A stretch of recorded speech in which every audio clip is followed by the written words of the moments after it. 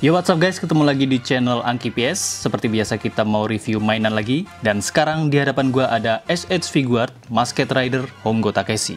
Dari film Shin Kamen Rider. Kita akan review, tapi sebelum itu di like dulu video ini. Dan bagi yang belum subscribe, di subscribe dulu channel ini. Mantap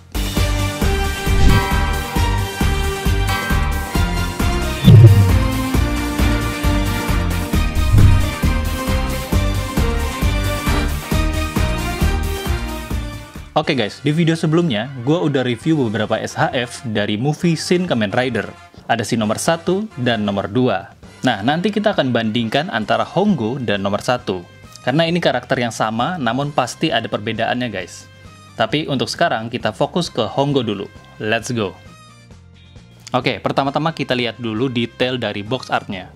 Di sini ada SH Figuart dan penjelasan soal figurnya. Kemudian Bandai Namco di sini ada Hongo Takeshi yang lagi pegang helm. Dan helm ini nggak ada nih di figur yang nomor satu. Terus ada Shin Kamen Rider, Masked Rider, dan Shin Masked Rider. Design by Tamashii Nation, logo Tamashii Nation, Bandai, dan sedikit storyline. Bagian samping ada SH Figuarts, Masked Rider atau Hongo Takeshi, ada tulisan Shin Kamen Rider, wis ada pose Rider Kick nih.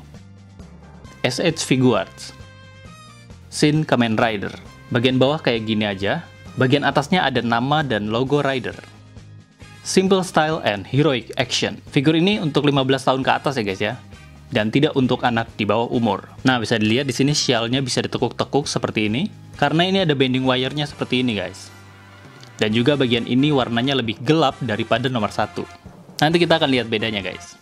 Masked Rider Hongo Takeshi. Sekarang, mari kita unboxing. Let's go! Seperti biasa, untuk membukanya kita balik dulu boxnya, dan bukanya dari sebelah kanan seperti ini guys.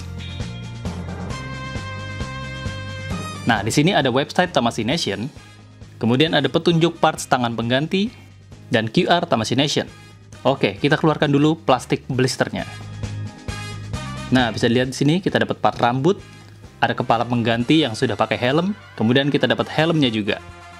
Nah, di sini kita dapat tangan untuk memegang stang motor.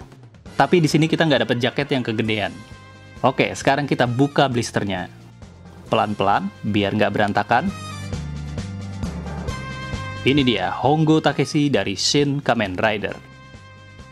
Kalau dilihat-lihat lumayan mirip sih. Oke, kita keluarin semua dulu ya guys. Oke, ini dia SH Figuarts Hongo Takeshi. Di sini ada beberapa parts tangan. Ada tangan pose seperti ini, tangan lurus seperti ini, tangan mengepal, dan tangan untuk memegang stang motor. Untuk mengganti tangannya cukup tarik pelan-pelan, lalu pasang tangan menggantinya. Cukup mudah guys. Selain tangan, di sini juga ada kepala yang pakai helm dan rambut. Dan secara keseluruhan ini masih terlihat mirip sama SS Figuart Shin Kamen Rider nomor 1. Kemudian kita dapat helmnya yang kondisi dilepas seperti ini. Itulah parts yang kita dapat. Sekarang mari kita lihat figurnya. Let's go! Oke guys, ini dia wajah dari Hongo Takeshi. Gimana menurut kalian? Mirip nggak guys?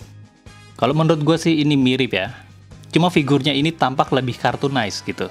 Jadi kurang realistis aja sih. Tapi segini udah cukup persis. Nih, dasinya ada bending wire-nya jadi bisa kita tekuk-tekuk sesuai kemauan kita. Karena ini kain di dalamnya ada kawat gitu guys. Bagian belakang seperti ini ada nomor produknya. Dan secara detail semua masih sama dengan si nomor satu. Nah, ini yang berbeda. Warna sarung tangan lebih gelap daripada si nomor 1 dan 2. Bagian busnya juga sama gelapnya, jadi warna hijaunya tampak redup gitu guys. Tapi yang kita cari di sini adalah kepala manusianya guys. Walaupun nggak dapat jaket kebesaran, tapi kita dapat kepala Hongo Takeshi.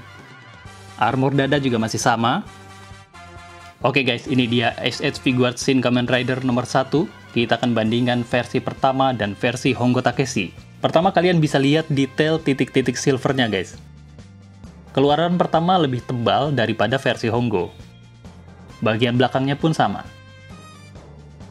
Nah, di bagian helmnya pun titik-titiknya lebih cerah yang versi pertama, dibandingkan yang versi Hongo. Sarung tangannya bisa dilihat perbedaan warnanya. Bootsnya juga sama, berbeda warna. Memang detail helmnya lebih bagus yang versi lama sih. Versi Hongo ini semua warnanya seperti redup guys. Lihat, kelihatan kan bedanya kalau kita sandingin seperti ini?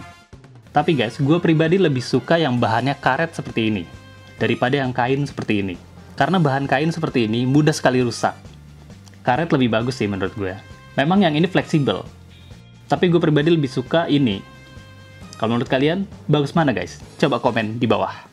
Sekarang kita lihat artikulasinya, mulai dari kepala bisa nengok kanan kiri, bisa tenggleng-tenggleng, nunduk sejauh ini, dan mendongak sejauh ini. Tangannya bisa membentang sejauh ini, bisa putar ke belakang tapi masih agak seret, bisa tekuk seperti ini. Bagian ini juga bisa digerakkan. Bagian ini juga bisa. Ball joint di pergelangan tangan. Badan bisa goyang kanan kiri, membungkuk sejauh ini, mendongak sejauh ini, tengok kanan sejauh ini, dan kiri sejauh ini. Menendang ke depan sejauh ini, ke belakangnya segini aja, kakinya bisa ditekuk sampai sini, ankle-nya bisa digerakkan, ujung kakinya bisa ditekuk, pahanya bisa diputar, dan dia bisa split sejauh ini. Artikulasinya hampir sempurna dan sangat fleksibel. Dengan artikulasi yang banyak tadi, kita bisa lakukan pose-pose kayak gini.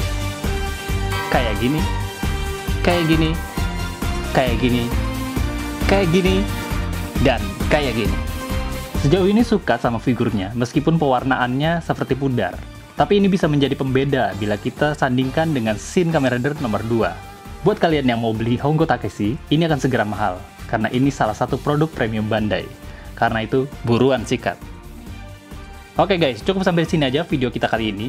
Gimana menurut kalian SH Figuart Shin Kamen Rider Hongo Takeshi? Jika kalian suka, kasih like. Jika kalian nggak suka, boleh di-share ke teman-teman kalian yang suka Kamen Rider. Bagi kalian yang belum subscribe, ayo di-subscribe dulu channel ini. Dan kita ketemu lagi di review-review berikutnya. See ya, see you, say yo. Bye-bye.